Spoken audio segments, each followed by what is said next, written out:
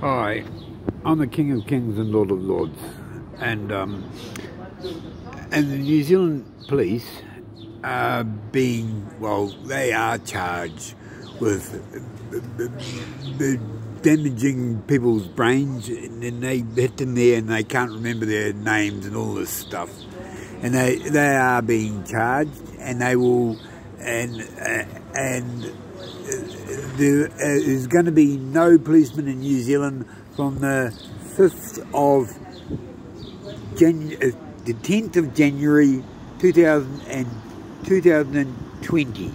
There will be no policemen in New Zealand. Any policemen that uh, haven't been charged, uh, you're allowed to shoot them because it should be should be charged and and go to jail by 2020, the 10th of January, and they shall they shall all be charged.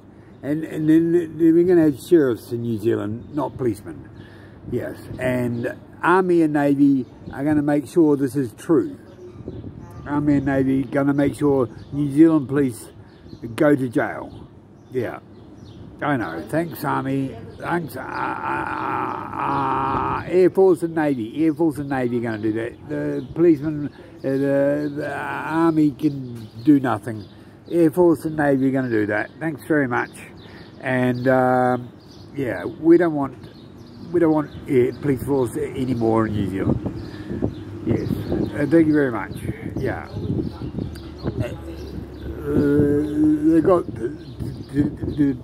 10th before they have to be in jail.